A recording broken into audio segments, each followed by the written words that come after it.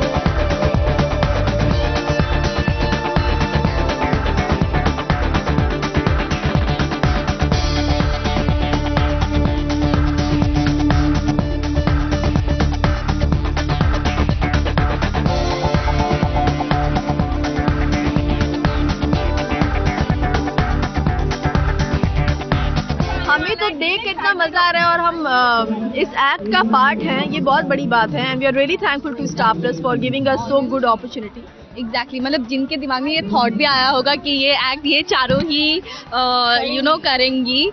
So of course I am really we all are thankful to them exactly मुझे best part ये लगा कि हम लोग सब ऑन स्क्रीन जो भी करते हैं off screen we all class train classical dancers so वो ऑडियंस को पता चलेगा which is a very good thing and I am very excited सामने आएँगे। बट मुझे एक्चुअली काजल और गोपी का जो डांस है वो बहुत अच्छा और श्रद्धा का तो खैर कहना ही नहीं वो प्रोफेशनल ओडिसी डांसर है बचपन से सीख रही है। तो मैं मैं ही सबसे यो यंग कलाकार हूँ इनमें जो दो ढाई साल की दो ढाई साल से सीख रही है। और ये पहली बार मैं अपने ओडिसी डांस का डेब्यू कर रही हूँ।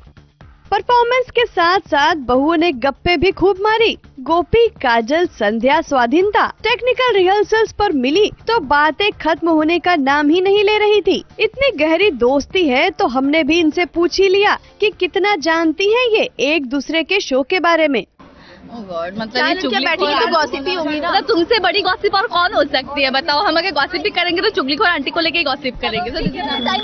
Kajal! Chhavi. Raunak Chhavi and Raunak.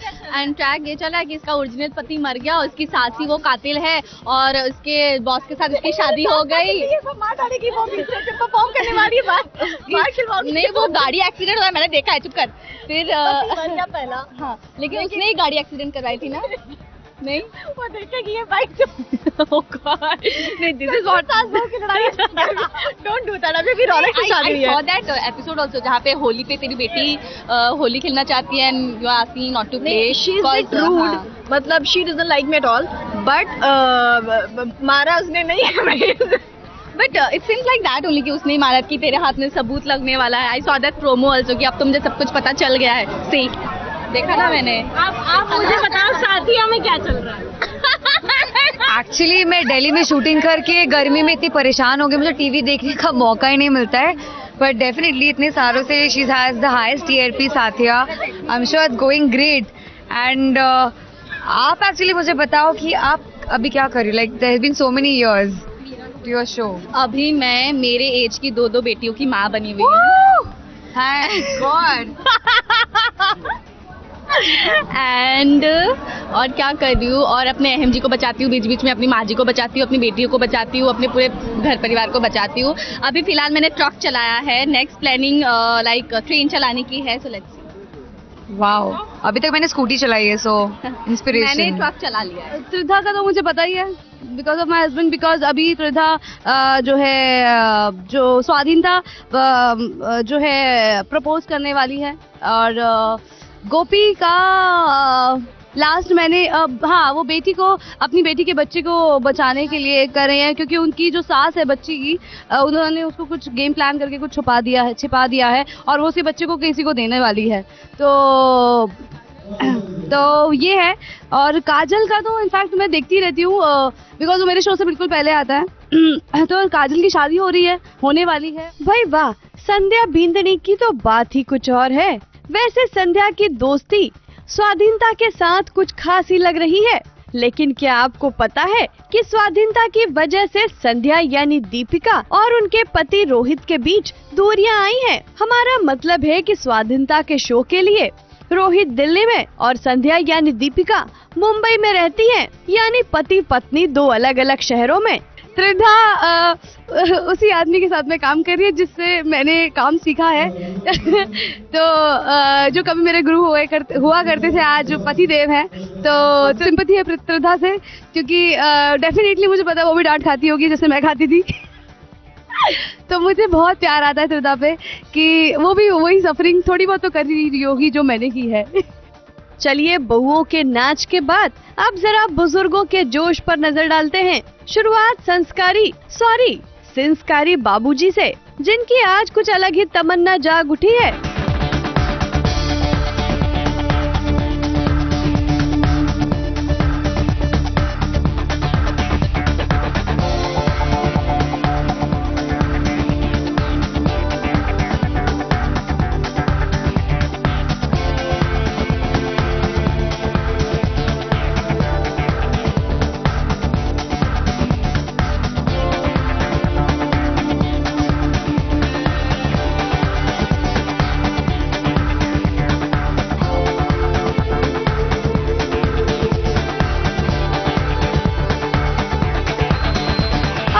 बाबा सा से मिलिए, जो आज सुपरमैन बनकर सनी देओल की तरह जोश में नज़र आ रहे हैं।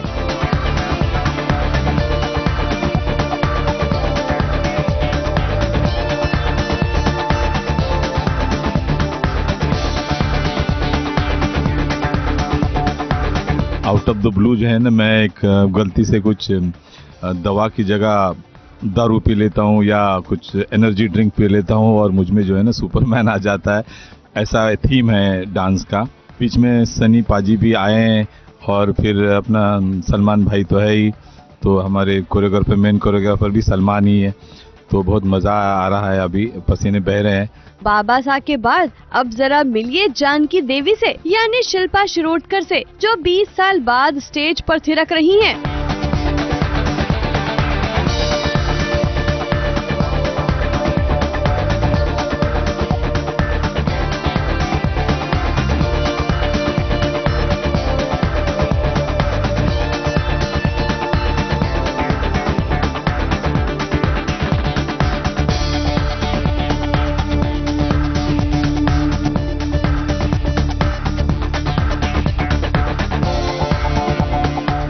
एक्चुअली सब अ, ब- बहुत टाइम के बाद मिले हैं so it's obviously nice to be connecting with everyone and it's going to be fun I am sure आज वैसे अम्मा जी भी पीछे नहीं है धरा की बा के साथ अम्मा जी का ये नाच तो देखिए जरा जो आज बावरी हो चुकी हैं।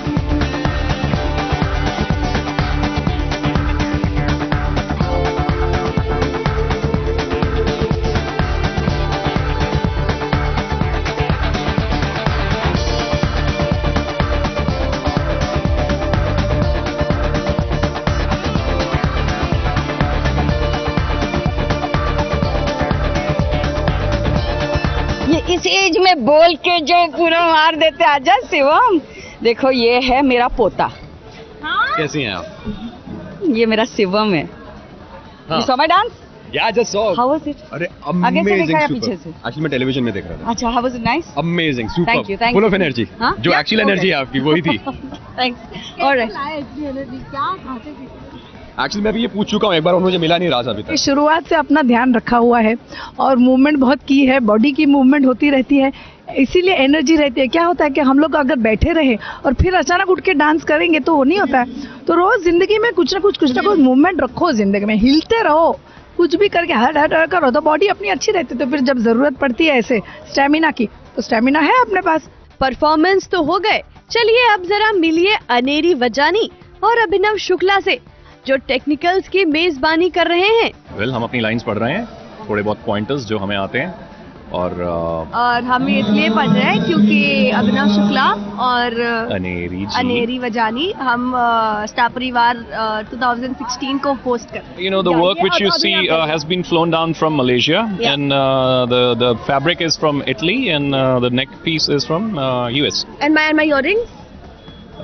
ये इधर से अपनी वो कौन सी कोई नहीं ले सकते तो ये थी स्टार परिवार अवार्ड्स के टेक्निकल की एक झलक। पूरी पिक्चर भी आपको दिखाएँगे। जाते जाते स्टार परिवार के मंच और सितारों के पर्दे के पीछे की मुलाकात भी देखते जाइए। जो आपको दिखाई देगी सिर्फ़ यहाँ और कहाँ। मुंबई से आरती गुप्ता पांडे की रिपोर्ट